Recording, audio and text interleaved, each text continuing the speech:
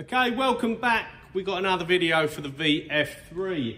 Now, it's not really the sort of video that I want to do because it's a video that I found out more problems. Um, when I done that gearbox rebuild, you'll remember that I mentioned the spindle bearings sounded a bit rough. Now, I thought we'll crack on with them, we'll see how we get on. And I have machined some parts with them. Um, I'll be doing these pieces here. I've been doing some broaching, um, some bores, and then also we done some thread milling. Now everything's pretty good, but when doing these parts, these are the first proper parts I've done, and I also, let's just go back, done these couple of sample parts, if you remember shown in the video, and the floor had a bit of a funny finish, but you look at the outside, and it was really nice. Um, so it was more like there was issues with the Z-axis in the sense of um, maybe a worn screw or bad bearings or something like that. But the spindle bearings were the ones that sounded a little bit rough. So I noticed that doing these, for example, it had to go down there and bore out, um, do this pocket. Now, when the end mill went in first off, I was using a 16 mil end mill, um, probably got it here, using this one, 16 mil end mill. Now, when it went into the bore and started roughing it out, the noise was pretty bad. It was, you know, it was, it was squealing and screaming. Now, it doesn't do that on the VF0E. Still can be a little bit noisy, as expected sometimes in alley if you're not got great um, like chip evacuation and the coolant's not getting right in there. I haven't got through spindle coolant or anything like that, but it just sounded a little bit rough. And also when it was drilling, something didn't sound normal when it was drilling. But let's just get on. Parts were looking okay. Finish was really good. When Once you'd done that bore and it was sort of squealing and squeaking, when you went in and done the contour, a finish pass, is a beautiful finish. Now I've got some clips of that that I'll put up here showing the, the finished bore on a part. So we just snap to that now. Some ops on these, bit of thread milling, little pocket in there, nothing special. But before it thread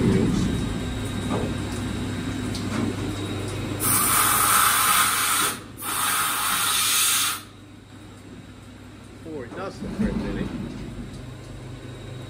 that's a lovely little pocket in there. Look at that. Lovely finish.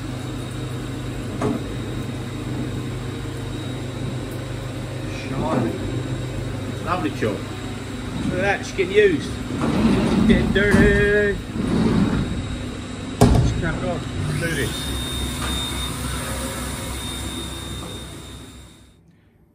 So you see there that the bore is, is nicely finished. It looks good. Um, so although it sounded a bit rough, when it, when it roughed out the initial material, I thought that's good enough for me. If it's going to do a finish like that, obviously we've done the ball bar test and we know that it's got really good um, circularity. So that's excellent. Anyway, today, drilling a few plates for some parts. I had to put some holes in a bit of material here. And randomly, when I, I don't know what I've done, because I was just using the coolant out of here and not out the um, P-cool, it wasn't spraying everywhere. The door glass is pretty clean. And I could have sworn I saw the tool move. So I turned the coolant off, looked at the next hole, and lo and behold, the spindle itself is going up and down. As the drill hits the material, and you've obviously got resistance as it's trying to drill through it, the spindle moved up. Um, three mil, two or three mil. Um, it might not be that much, but the spindle moves. So I recorded it, and I'm going to show you that now. Now I've just noticed this when drilling. Have a look at this. So the drill's going, and you'll see at the very top, you've obviously got the top of the tool, you've got a gap, and then the little bit sticking down about four or five mil is the spindle, the nose of the spindle. So this bit with the dogs on it is obviously the spindle, this section between this face and here. Now have a look at this. Watch it move going to try and pick steel.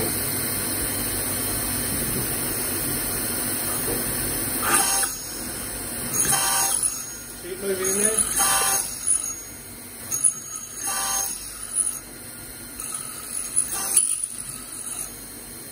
There's actually a whole thing, a whole thing there, spindle inside the housing, cartridge is going up, going up in the air. Up in the air, going into the spindle, so there's no preload in there, look. It's moving in.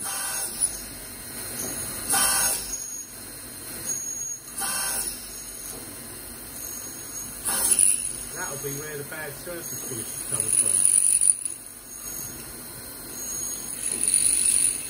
Not ideal drilling without coolant, but I want you to wash it one more time.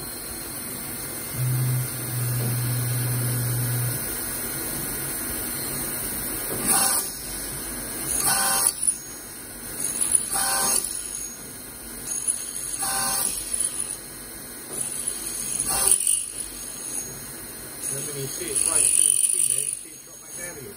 So, with the bearings or whatever, the sleeve maybe inside has come loose and the whole spindle inside the cartridge is moving up and down. So I think the Z-axis in the ball screw is okay, the bearings are okay, but that spindle definitely needs to come apart. Another job for the list. So there's the clip of the spindle actually moving inside, um, like the spindle case, the spindle housing, whatever you want to call this, the cartridge, would you call it? Um, not too sure. But yeah, so the spindle itself is going up. Now, as far as I'm aware on the Haas spindle builds, I found a little bit of info online and there's no preload as such um, that you can tighten. Like some spindles have a, have a lock nut uh, and then a secondary nut that you can lock it down and create the preload you want. It seems like the Haas spindles of this era, this is a 7,500 RPM spindle. As far as I'm aware, this spindle is exactly the same as that one, regardless that that's got a gearbox and that hasn't. They're not direct drive, they're both belt driven. 7,500, 7,500. So I think they're the same. Um, so yeah, it's moving up and down in the housing. Anyway, I'll show you that clip there. Um, excuse the chit chatting, I was sending that to a friend. I only had that to go back to. So I thought I'd turn the machine off and I'll check it. So we've got a little bit of wood here that I'm going to prop up. And obviously you can see the dog's there. See there, this is sort of like that browny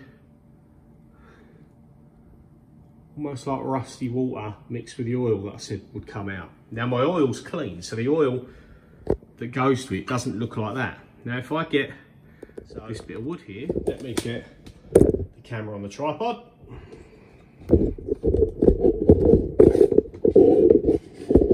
Try and get it up here as best as we can.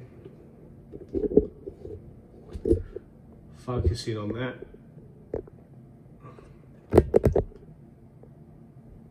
There you go. So I'm not touching it now, you're going to see it a lot better. So, see that dropping in and out. Again, it's not taking much to move that, but no doubt, well, I know for a fact it shouldn't be moving in there, surely. Can't be meant to do that. My other machine doesn't do it. So, yeah, that's where I'm getting a bad finish from. Um,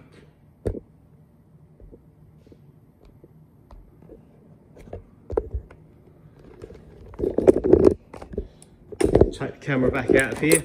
Apologies for such a poor quality video.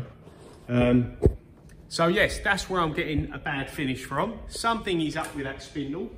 I'm gonna have to have a look at it at some point because I can't do too much with it like that. There's a couple of jobs that I'm doing that it's actually leaving a good surface finish, um, but you wouldn't be facing off or anything with that sort of setup.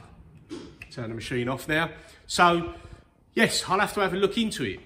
One thing that may save me for the moment for any more expense, I bought a VF0E year 2000 a couple of weeks ago for a vector drive and some other drives. The machine had the main con board, the motor controller board, the video board, they were all gone.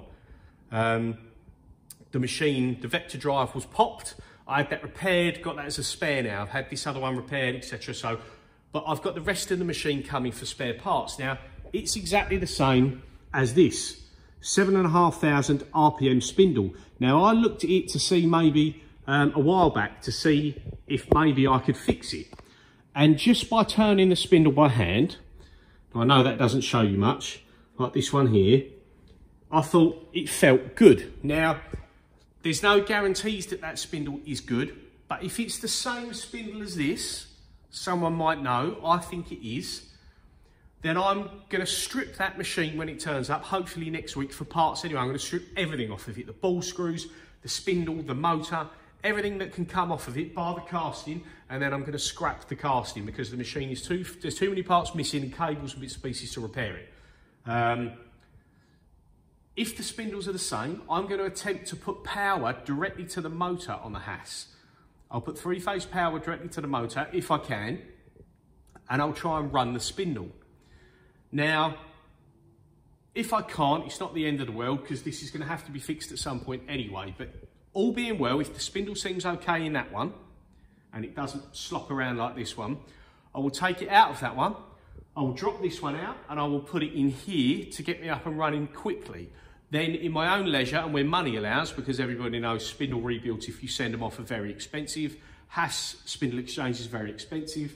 Um, I will open this and look at this at a later date. So that's the, that's the video for now. We've got spindle issues, but we've potentially got a way to solve it on the short term, could be long term, depending what the other spindle's like, if they're interchangeable, that is. So there will be updates on Haas 7,500 RPM um, belt-driven spindles and possibly rebuilds and all the info like that. So yeah, stay tuned. You might see some of that in the near future. Like and subscribe if you like the content.